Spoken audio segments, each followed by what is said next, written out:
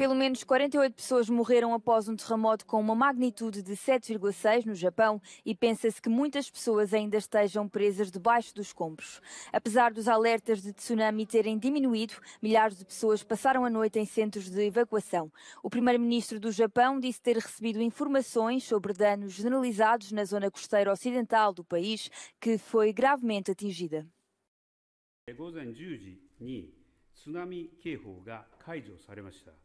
今後、本格的にこの回路を通じた、輸送ルートの確保、本格的に進めてまいります。